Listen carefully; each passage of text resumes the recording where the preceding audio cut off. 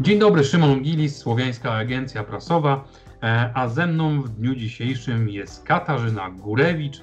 Będziemy dzisiaj z nią rozmawiali na temat e, instalacji, która już niestety nie istnieje, ale jednak była w Szczecinie pod tytułem Rozmowy z Bogami.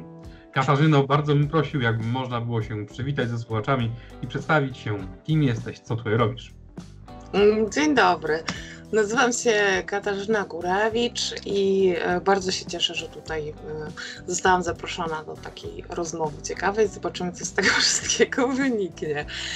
E, no tak, jestem artystką, można tak powiedzieć. Jestem z zawodu, jestem ilustratorką książek. E, moją szkołę kończyłam, e, skończyłam w 2012 roku, e, a studiowałam w Hamburgu. To było no, kilka ładnych lat temu. I tam właśnie ta ilustracja, w sumie wtedy jeszcze książek dla dzieci, ale później w ramach studiów jakby troszeczkę zmieniłam ten profil i zakończyłam jakby moją pracę, zrobiłam dyplomową z fotografii takiej ilustracyjnej, bo postanowiłam, że skupię się na e, fragmencie życia mojego syna, e, Oskara i przez ponad półtorej roku wtedy fotografowałam go i tak się jakby to skończyło taką serią, książką i zdjęciami i tak dalej.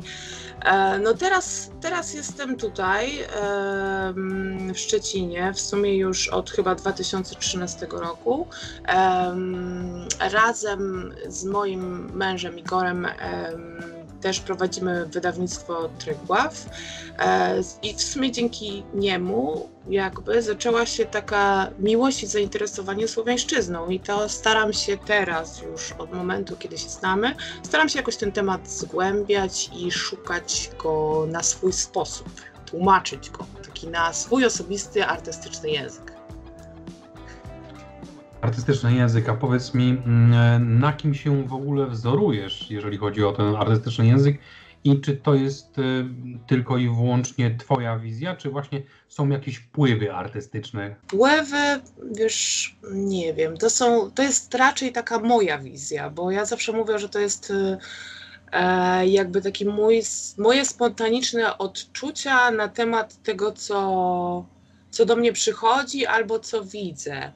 Nie mam jakichś takich konkretnych inspiracji, to są raczej, to znaczy może, może trochę tak, no bo jednak to są, to są takie e, ludowe motywy, ludowe symbole obecnie. To, co teraz obecnie robię, e, czyli moje linoryty wzorują się na, na haftach białoruskich i gdzieś z tamtych regionów.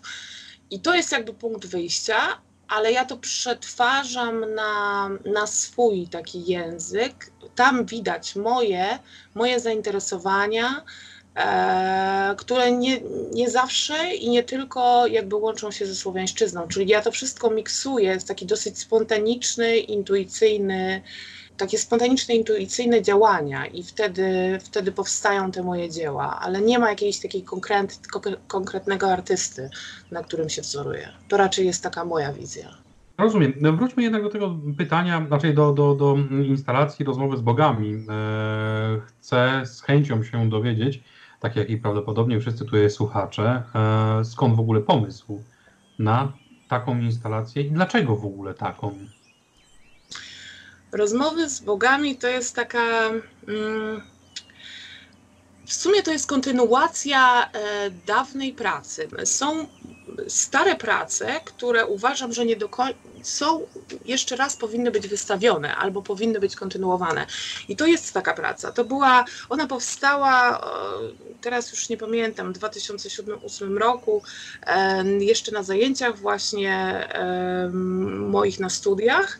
I to była taka instalacja e, płyty e, gramofonowe z e, runami i one były zwieszone z sufitu e, i one symbolizowały taki mm, jakby połączenie e, rozmow, właśnie już wtedy były trochę rozmowami z bogami, ale ja tego tak nie, nie nazwałam.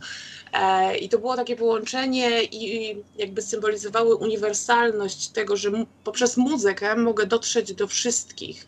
Każdy jakby muzyczne działania i w ogóle twory muzyczne jest w stanie zrozumieć. I to był ten początek, a tutaj tak naprawdę spontanicznie to powstało, ponieważ taki znajomy mój, który prowadzi e, obiekt kreatywny tu Centrum Szczecin, e, zaproponował mi e, możliwość wystawienia e, w takiej witrynie, specyficznym miejscu, witrynie sklepowej. Powiedział, słuchaj, no wiesz, możesz, masz tutaj taką możliwość, że możesz coś wystawić. I ja sobie myślę, okej, okay, dobrze, no to, no to mam taki pomysł. Mam taki pomysł, że e, chcę zrobić taką instalację, która będzie się nazywała Rozmowy z Bogami. I wtedy, dopiero wtedy jakby zaczęła się rodzić kontynuacja tam, tamtej instalacji. I do tamtej instalacji, czyli do tych płyt, na których są runy, które już miałam wcześniej, dodałam inne elementy. I tutaj e, już chciałam przedstawić to, co to, co się działo, bo to miała być taka moja, albo jest, albo była, bo ona już teraz nie, nie wisi w tej, w tej witrynie, to miała być taka moja droga duchowa. Przez, przez jakie energie, przez jakich bogów e, w moim życiu przechodziłam i gdzie teraz jestem.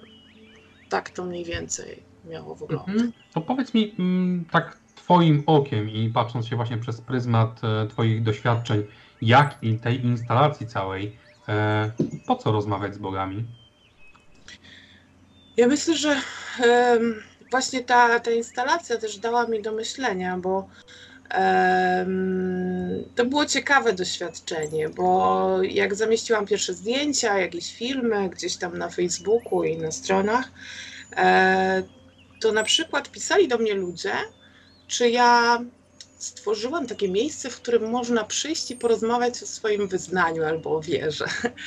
Ja mówię, nie, słuchaj, to wiesz, to jest na zasadzie takiej, że no to jest moja instalacja, to jest jakaś taka wizja, ale będzie spotkanie, będzie spotkanie i będziemy mogli o tym porozmawiać. I, i to było ciekawe doświadczenie, bo ja zauważyłam, że jest potrzeba y, rozmowy właśnie o takich różnych duchowościach, duchowych sprawach, które się dzieją, bo Sama rozmowa jest ważna, bo rozmawiamy tak, rozmawiamy z mamą, tatą, dziećmi, e, przyjaciółmi i tak dalej. Rozmawiamy o różnych rzeczach, ale są takie rzeczy, o których e, trudno jest mówić. I, I, właśnie to dla mnie to są takie rozmowy z bogami, bo w tym momencie zaczynam się zastanawiać i, e, jakby nie wiem, na tym może też trochę polega medytacja w jakiś sposób, że są, poruszam inne tematy, i w inny sposób rozmawiam, albo może szukam też innych osób, które, z którymi mogłabym porozmawiać o czymś, co jest dla mnie takie duchowe i co jest ważne, ale to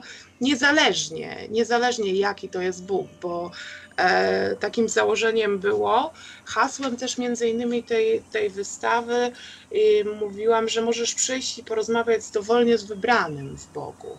To nie narzucamy możesz kim chcesz, ale jest taka potrzeba, bo, bo naprawdę ta, taka była też moja obserwacja i tak to było ciekawe, że przyszli na to później był taki e, finisarze tak zwane, na które właśnie zaprosiłam e, różnych ludzi, albo też przyszli w ogóle ludzie, których nie znałam, którzy wiedzieli, że to będzie. E, I faktycznie wywiązała się bardzo ciekawa dyskusja na ten temat, czyli jest potrzeba rozmowy z bogami albo o. Z jakimi w ogóle bogami? Bo to powiedziałeś, że wszystkimi, ale na pewno gdzieś e, pojawiła się na pewno elementy tego, do jakich bogów ludzie kierują swoje, no właśnie, rozmowy czy modlitwy? Hmm. No właśnie, to jest ciekawe, wiesz co, bo ja ci powiem, e, z jakimi u mnie była rozmowa, powiem, z jakimi bogami. Sama wystawa, czyli ta witryna sklepowa, może będzie można zobaczyć na zdjęciach, jak to wyglądało. Ja zamieściłam tam e, taką figurkę Chrystusa, zamieściłam e, taki też posąg Buddy. Tam, e, tam na krześle był czarny telefon stary, było lustro, były czerwone, czerwone szpilki I na tle był taki baner e, z posągiem ze zbrucza, e, z taką no, wizualizacją tego. I to jakby przez mój osobisty, osobistą drogę, czyli ja nie wyrzekam się tego. Byłam wychowana w domu katolickim, bardzo takim tak to wszystko, wszystkie jakby wypełniłam zadania, które powinnam, jeżeli chodzi o tą wiarę, ale w pewnym momencie no jakoś już nie było mi po drodze. E, później pojawił się buddyzm, który, no, w którym się e, i nadal gdzieś tam jest mi bliski, jakieś elementy buddyzmu e, są, są w moim życiu. No i ostatecznie to, to, co teraz jakby w czym jestem, tylko to też ja bym nie chciała, żeby to było tak jakoś bardzo religijnie, tylko to jest taki mój przykład osobisty, że moja droga tak wygląda, że od, od katolickiej przez buddyzm do e, powiedzmy do słowiańszczyzny, rodzimowiestwa, ale moja osobista, nie narzucająca. E, I tutaj chciałam pokazać to, że e, właśnie te, te, wszystkie symbole, które masz do wyboru, bo tam były jeszcze takie karteczki z definicjami bardzo prostymi. Definicja run, definicja gramofonu, definicja telefonu chyba. I nie pamiętam, zaraz muszę sobie przypomnieć. Muszę sprawdzić później. I nie chodziło o to i to lustro. W tym lustrze można było się przejrzeć i możesz sobie, możesz to wszystko poskładać tak, jak ty chcesz, czyli masz do wyboru, kim, z kim chcesz rozmawiać, y, o czym chcesz rozmawiać, czy chcesz w ogóle rozmawiać, tak jak ty mówisz, czy to jest medytacja, czy to jest modlitwa. Nie wiem, ja tobie daję to, daję ci ten wybór, bo ostatecznie to ja to nazwałam taką miejską kapliczką, e, bo też taka była moja inspiracja, że ja jako dziecko bardzo lubiłam e, chodzić tak u babci na Lubelszczyźnie, gdzieś moja babcia tam jeszcze świętej pamięci sobie żyła i e, lubiłam te polne kapliczki, tam sobie zanosiłam kwiaty i tak dalej. I tu o to mi chodziło też, że ja chciałam w mieście stworzyć taką kapliczkę, ale taką, że ty ty sobie wybierasz, z kim chcesz rozmawiać. I ona faktycznie, powiem, zadziałała w ten sposób, bo ja miałam niesamowity oddźwięk później, takie echo. Ten znajomy, który prowadzi ten obiekt, mówi, z jednej strony się trochę bałam, bo mówię, myślałam, że może niektórzy źle mogą to odebrać, że takie połączenia tych różnych symboli religijnych i tak dalej, że może to kogoś obrazić.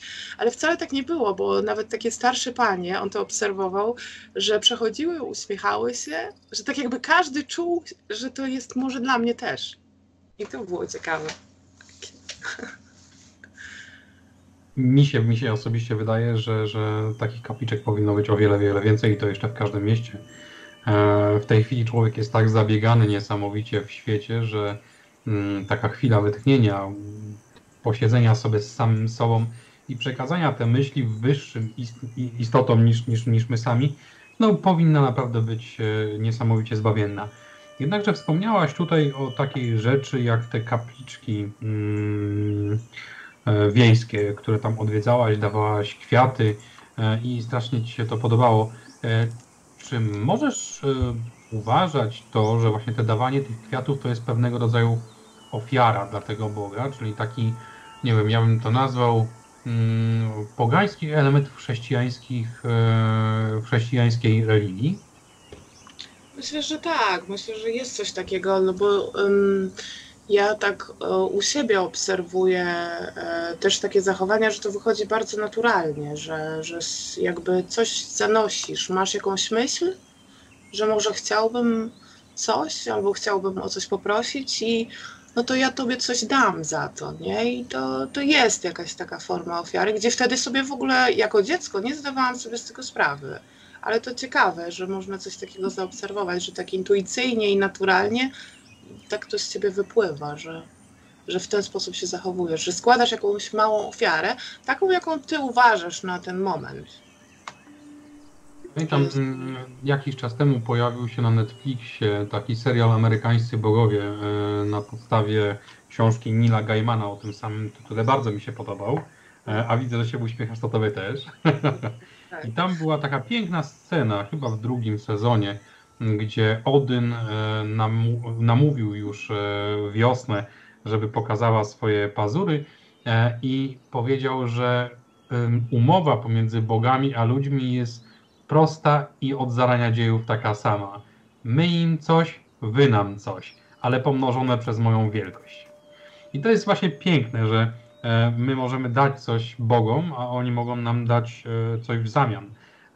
Wysłuchałem tutaj informacji takiej, co było w tej kapliczce i e, oprócz figurki Buddy, Jezusa czy run, które zwisały na tych płytach, zainteresowały mnie dwa inne elementy.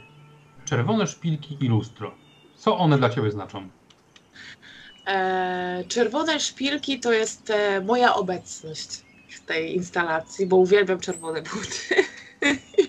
I po prostu jakby się podpisałam tam, że to jest, to jest, bo to jest czysto moje, to była moja wizja. Nie, nie chciałam nikomu niczego narzucać w żadnym wypadku. Ja chciałam tylko zaprosić do rozmowy i do dialogu że ja ci proponuję, jak przejdziesz i e, nie wiem, przypadkowo zobaczysz tą moją instalację, to może, może masz ochotę się zastanowić, a może masz ochotę później ze mną porozmawiać, a może z kimś innym. Ale tak, czerwone buty to jestem ja.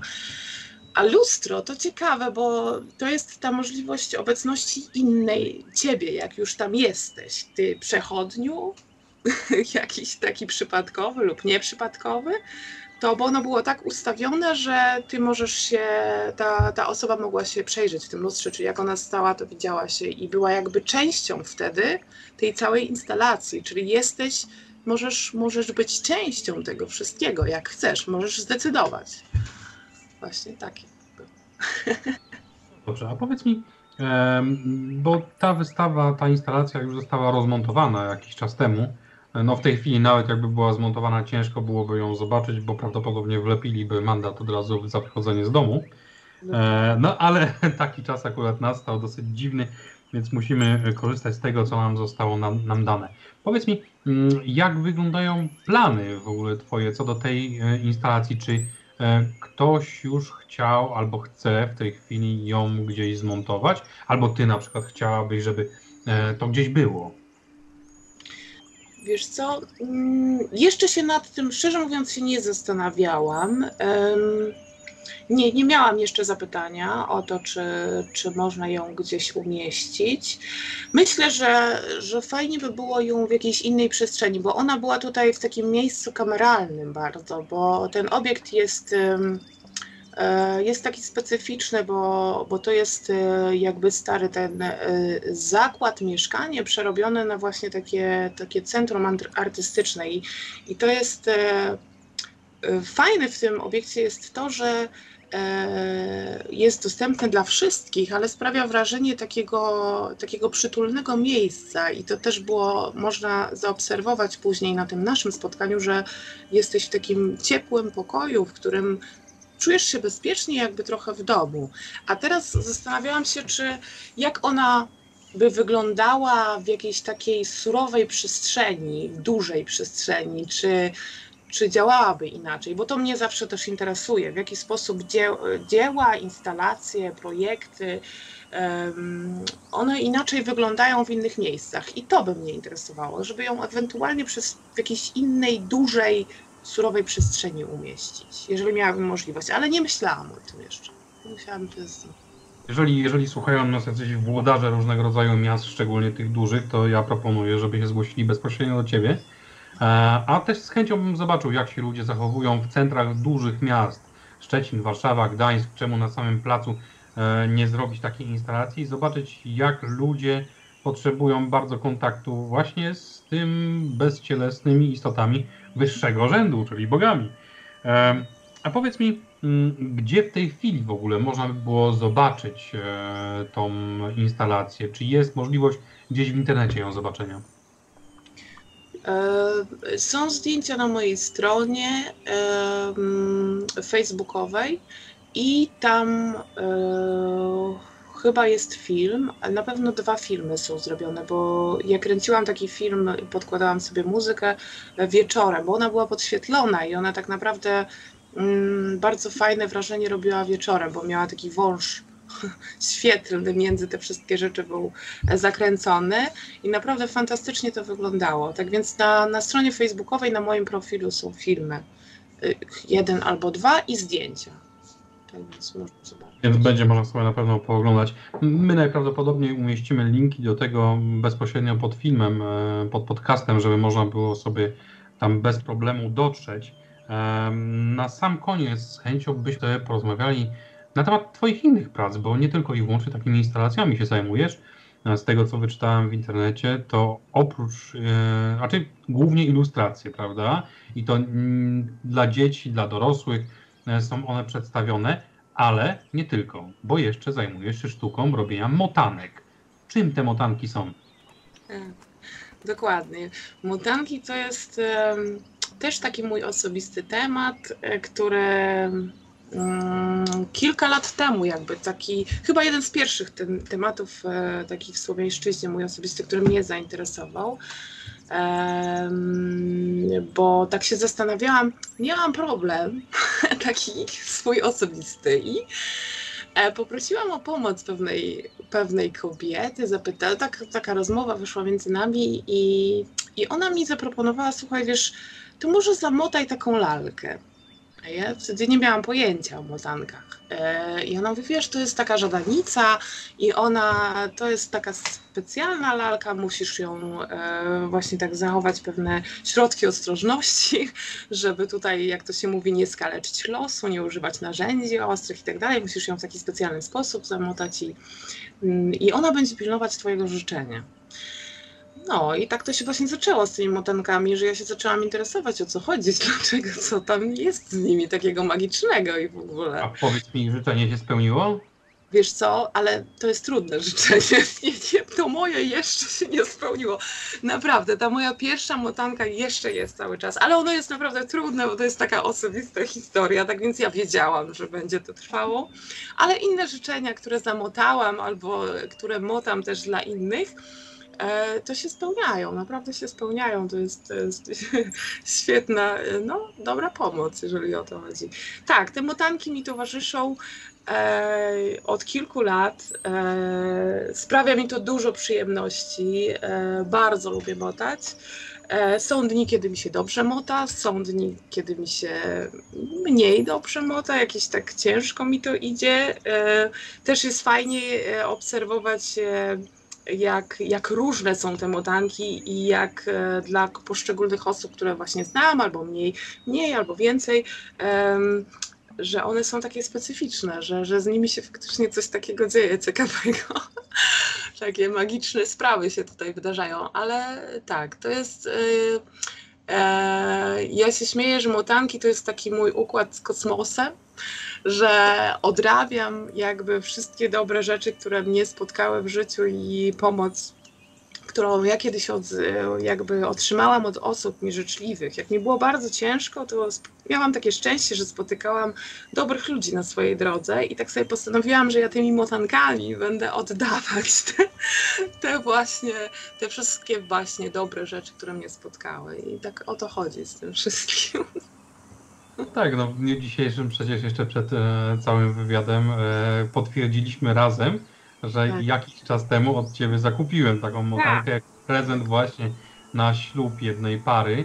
No ja mam nadzieję, że życzenia w niej zawarte, czyli dobrego, miłego związku e, się spełniają, chociaż no, do dnia dzisiejszego nie słyszę, żeby się rozpadł ten związek, więc chyba ja. idzie wszystko w dobrym kierunku. E, I tego się trzymajmy. E, ale powiedzmy w ogóle, gdzie można znaleźć te motanki, bo to jest strona na Facebooku, fanpage, który się nazywa Motanki Lalki Słowiańskie. I tam jest tak. naprawdę multum gigantyczna ilość różnego rodzaju e, zdjęć laleczek tworzonych. Powiedz mi, czy jest jakaś specjalna metoda tworzenia ich? Tak, e, tak jak wspominałam, motanki tworzy się najlepiej tworzyć je E, z takich materiałów naturalnych, e, lnianych, wełnianych. Używamy do motania e, wełny. Motanki też, tak, tak, jak mówiłam, nie używamy ostrych przedmiotów, bo mówi się, żeby nie skaleczyć losu. Czyli jak zabieramy się za motanie, to lepiej sobie wszystko przygotować. Dobrze, żeby te materiały były takie żeby się łatwo można było je przedrzeć, bo nie wolno ich ani przecinać, ani tam, nie wiem, nożem, nożyczkami i tak dalej, przyszywać takich rzeczy też, nic ostrego, nic do nich tam nie wkuwać i tak dalej. Ważne jest, żeby mm, jak zaczynamy motać, to też kończymy, czyli skupiamy się na tym, że to jest jakby od początku do końca jedna czynność, nie przerywamy tego. No i tak jak mówię, motanek jest mnóstwo, one są na, no, na wszystkie przypadłości, miłości, niemiłości, smutki, życzenia, prośby, zima, lato i tak naprawdę jak się to robi, to później też intuicyjnie się tworzy te motanki z tą, co ja mówię, żadanice, bo są też takie motanki, które się na pewien czas wykonuje, e, tak jak na przykład ta żadanica, e, taka lalka, która się opiekuje naszym życzeniem. E, I dajemy jej, a jeszcze ważne, przy niej to dajemy jej prezent, czyli znowu jest tutaj ta zależność, że jak coś chcemy, to musimy coś dać. Motanki też nie mają twarzy, bo mówi się, że gdyby miały twarz, to by się zajmowały swoimi sprawami, a my chcemy, żeby się zajmowały naszymi sprawami tak więc nie robimy im oczu, żadnych ust i tak dalej. No i tak, i to jest chyba ważne, żeby, żeby się trzymać takich pewnych zasad. Wiadomo, że no, też nie można się fiksować. Jak mam jakieś inne materiały, to też ja jestem taką osobą, że tak e, jak mogę, to mogę, a czasami ta potrzeba jest ważniejsza i staram się z tych rzeczy, które są, zamotać, bo ta intencja jest bardzo ważna, żebyśmy się na tym Y, skupili, bo to jest taki fajny moment, w którym ja bardzo często obserwuję na warsztatach, jak to na chwilę się zamyk, tak jakby wyciszają się, bo to kobiety motają. One uspokajają się, wyciszają się i faktycznie skupiają się na tym, na tym co teraz robią. A to jest ważne, bo, bo teraz mało mamy czasu, tak? Mało czasu, wszystko gdzieś tam biegnie, e, nie wiem, gubimy się w tym wszystkim, a tutaj jest taka chwila, chwila dla mnie i dla tego momentu. I bardzo fajnie się to e, u kobiet obserwuje, że one tak na chwilę stają się, jakby wracają do dzieciństwa i zaczynają tą motankę ubierać, e, stroić i starają się, żeby ona jak najładniej wyglądała. I to jest takie bardzo ładne, bardzo fajne doświadczenie też. Bardzo wdzięczne.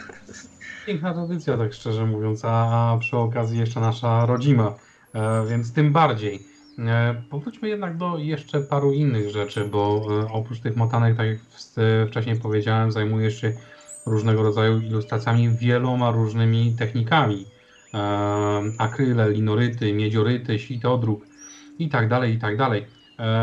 Chcę wszystkim tutaj słuchaczom przekazać informację, że te wszystkie rzeczy można zobaczyć na Twojej stronie internetowej gorewiczka.pl. Tak jest? Tak, tak jest. To jest jedna strona, jest taka, mm, e, to jest portfolio, chyba tam są moje prace, tak mniej więcej to, co ja robiłam e, jeszcze to, to, to, co wspomniałeś, Miedzioryty, drugi i tak dalej, to są stare prace, takie moje z dawnych czasów, bo tym już tak naprawdę się teraz nie zajmuję, ale one są, one sobie tam gdzieś, gdzieś funkcjonują e, i są w sumie chyba też do, do kupienia częściowo niektóre.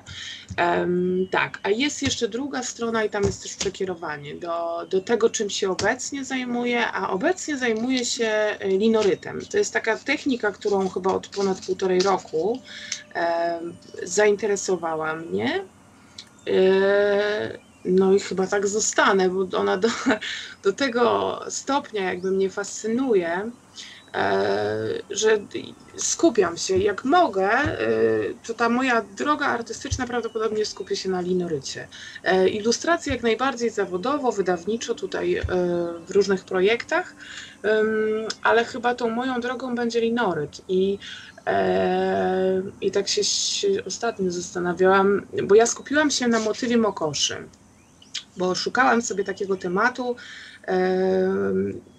co będzie taką moją drogą, taki projekt jakiś. Na początku myślałam, mówię, dobrze, dam sobie rok, że będę rok pracować nad tym motywem. Ale ten motyw jest tak niesamowity, że no chyba nie będzie rok, chyba będzie dłużej. I ostatnio tak się śmiałam, że po prostu chyba tak jestem na etacie u Mokoszy, bo, no bo ja nie mogę się oderwać. To jest im, im więcej widzę tych e, symboli czy rzeczy takich związanych z Mokoszą, to tym bardziej jakby wpadam w taką, taką zajęczą norę i po prostu tam, tam odnajduję te, mnóstwo tego i, i się gubię w tym i po prostu to, to, to chyba będzie dłużej niż rok, nie? I właśnie tak. I, i się chyba i mi zostanie tak z tą mokoszą, bo um, mam mnóstwo pomysłów, ale postanowiłam się skupić na jednym, żeby, żeby jakby to dopracować i zobaczyć przede wszystkim, co mi z tego wyjdzie, bo ja sama jestem ciekawa, jak to od tego pierwszego motywu, który mm, jest też mam wytatuowany, to jest ten taki najbardziej znany chyba symbol Mokoszy, e, ten taki wyszywany. E, I od tego motywu wychodzą wszystkie inne. I ale to jest tak, że one, one po prostu gdzieś tam się rodzą w głowie. Tak, to ostatni ten motyw, na przykład ta Wenusławia, bo ja uwielbiam tworzyć słowa też, bardzo lubię jakieś tytuły dla tych, dla tych, moich, dla tych moich linorytów. Ja na przykład miesiąc ten, ten projekt miałam w głowie i łączył mi się niesamowicie e, gdzieś tam z, z tą Wenus, taką pierwotną postacią i tak dalej, ale koniecznie chciałam do niej dołączyć tą mokosz, a jeszcze tam jest trochę tej motanki, bo ta głowa jest taka. I to po prostu cały miesiąc trwało, zanim y, ja ten projekt narysowałam, a później, bo to najpierw rysuję te projekty, a później je przenoszę na, na tą płytę, którą y, jakby tym dłutem wydłubuję i tak dalej, bo to jest jakby technika do drzeworytu, bo to tylko jest łatwiej, bo drzeworyt jest trudniej przygotować. No i to właśnie ten linoryt jakby chyba takim moim projektem, widzę, się staje, bo bardzo, bardzo mnie to fascynuje, co, co mi to przyniesie i w jaki sposób to jeszcze zobaczę, bo na przykład no, te pierwsze są takie bardzo graficzne, prymitywne, w międzyczasie pojawiła się ta słowiańska meduza, która e, no, do mitologii gdzieś tam nawiązuje i później sobie myślę, mówię trochę jakoś Versace, taki dziwny mi wyszedł, nie wiem, gdzieś tam są mnóstwo takich rzeczy, które lubię, które kiedyś zobaczyłam, które gdzieś tam mi utkwiły w głowie, one się zakorzeniają i tam i tworzą się, tworzą się różne rzeczy i to no właśnie, i zobaczymy, co z tego wyjdzie. Mnie, mnie bardzo to no, interesuje mnie, gdzie mnie to poniesie, bo ja też mam taki sposób działania, że tak jak mówiłam wcześniej, że ja nie lubię E, uregulowanego planu, bo on mnie bardzo stresuje, ale bardzo lubię działanie spontaniczne i jestem bardzo otwarta na to, jak mi się na przykład farba rozleje i zobaczę, co, co ta plama, co ona mi stworzy. Nie? I ja w ogóle nie mam, z tym, nie mam z tym problemu, jeżeli się coś tam stanie przypadkowo. Nie? I tak też tutaj widzę, że z tym linorytem będzie, że to jest dopiero początek. Ten rok to ogóle to nie. To się, Ciekawie, to, to... jak teraz właśnie ta, ta, cała epidemia będzie wpływała na to, bo prawdopodobnie troszeczkę bardziej siedzicie w domu i, i trzeba e, tutaj zacząć działać w, w domu. A powiedz właśnie, uchyl rąbka tajemnicy. Kto będzie robił ilustrację do worka? Ja, ja mogę to powiedzieć, nie wiem, czy mogę. Wiesz co, e, częściowo, częściowo ja będę robić rysunki takie, takie właśnie, takie czarno-białe rysowane, ale nie, e, no właśnie, no właśnie, bo ja te projekty książkowe tak, tak? uzupełniam gdzieś tam, nie? Albo gdzieś tam dołączone są, ale to nie jest, mówię, no zobaczymy, zobaczymy, częściowo tak. Tak. No to będziemy tutaj wyczekiwać teraz Borka, zobaczymy e, kiedy jak najszybciej zostanie wydany. Ja jestem bardzo ciekaw, bo pierwsza część była już przeczytana. Zobaczymy, co będzie teraz z drugą, jak Borek będzie starszy. A plany co do Borka też mam ciekawe, ale to przekażę później. E, ja Ci bardzo dziękuję za fantastyczną rozmowę, naprawdę. E, mam nadzieję, że będziemy się nieraz jeszcze spotykać, szczególnie jeżeli chodzi o wymienianie informacji z e, tej słowiańskiej części piękniejszej, czyli, czyli, czyli artystycznej mm, i, i będziemy mieli możliwość chociażby porozmawiać e, o tych właśnie sprawach, które się tyczą duszy, a nie tylko i wyłącznie ciała e, i tego, co jest namacalne. E, dziękuję Ci bardzo. Ja się nazywam Dziękuję. Szymon Gilis, a ze mną rozmawiała Katarzyna Górewicz. Dziękuję ślicznie, było mi bardzo miło.